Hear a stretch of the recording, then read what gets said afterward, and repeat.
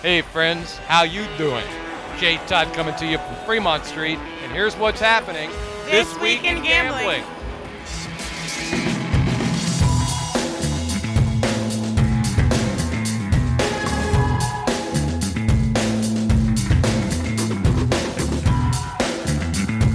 Hello, friends. Thanks so much for joining me on another edition of This Week in Gambling, where this is our last show before I take the week off for Thanksgiving. Speaking of which, can we do something about the background? That's a bit more festive. Before I go, however, we've got updates on news stories out of Florida and New York State.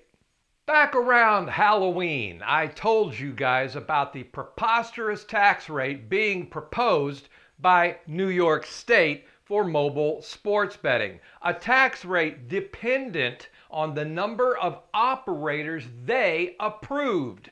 Now, if 10 or 11 operators got approved, the tax rate would be 50%. But 12 or more operators, and that tax rate would fall to something more reasonable, about 35%. Well, guess what? The state has finally released the names of the operators they approved. These operators. And if we take a quick count of the names on the list, let's see. Well, what do you know? There are 10. 10 names on that list, which means New York's ridiculous tax on mobile sports betting is about to become a ridiculous reality. Now, I'm not going to come right out and say that New York State deliberately chose a minimum of operators in order to get a higher tax rate because saying that would be wrong. However, I will imply it as you take a look at the list of operators who did not get approved, and there are some big names on that list, but approving everyone would have meant a lower tax rate. So, you do the math. Meanwhile, in Florida, I have no damn idea what's going on in Florida because a federal judge was supposed to release her decision about the state's agreement with the Seminoles to bring sports betting to that state by November 15th. And I waited all damn day for that decision to come and nothing. To be clear, this case has serious ramifications not just for sports betting, but for mobile gaming, tribal gaming, and online casino gambling as well. And let's not forget, there are billions and billions of dollars at stake here. Knowing my luck, and the fact that I'm about to take a week off for Thanksgiving, the judge in this case will most likely release her decision about the same time I'm releasing this video to you good people making me look like a jackass. Or a bigger jackass than normal.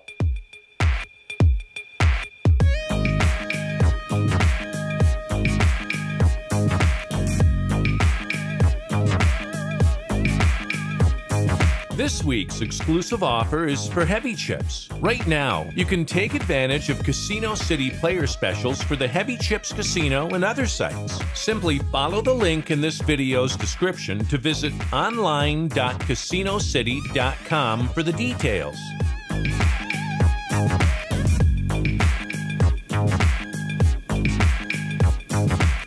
Since we've been speaking so much about sports betting on this program, it's only fitting then that I tell you about the release of our interview with the American Gaming Association. I spoke with Casey Clark of the AGA about betting on sports in America and whether or not the pandemic may have actually helped with mobile sports betting. Plus, if that expansion could be a catalyst for the growth of online casino games.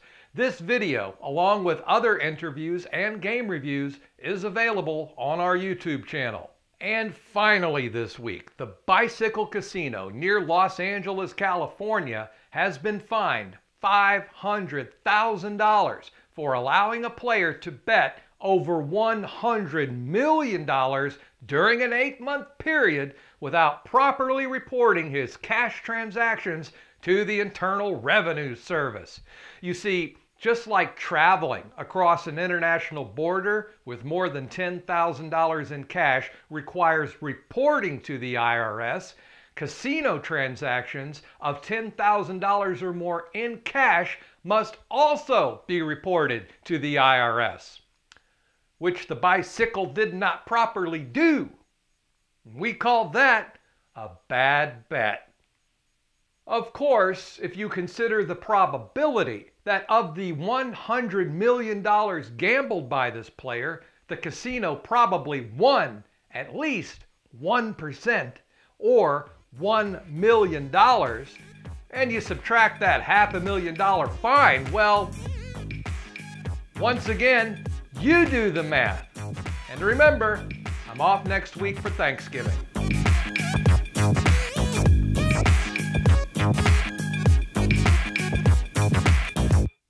Well, stuff my turkey.